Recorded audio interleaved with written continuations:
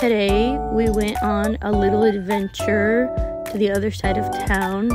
First, Scott went to go pick up uh, a 3DS that he bought off of OfferUp um, for his friend for his birthday.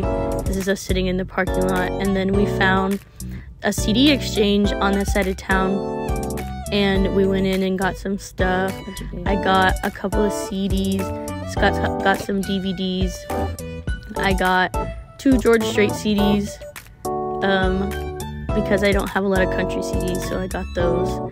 Um, then we went to South Park Mall. South Park Mall opened in 1974, and among its first tenants were actually J.C. Penney, which is still there to this day, and an HEB.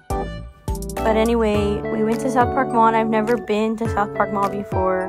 Uh, we went to the food court because we were hungry for lunch. This is a food court. Uh, we got Chick fil A. And to eat my Chick fil A, I like to get the nugget on the fork and dip it in barbecue sauce and then a little bit of the spicy sriracha sauce because it's just the best that way. And this is what it looked like after we finished. Um, and then we walked around. We actually found the Miniso store, which I forgot that they opened here, and it was so freaking cute. Everything was so cute. I wanted to buy the whole store, but I decided not to. Um, well, Scott Scott convinced me not to.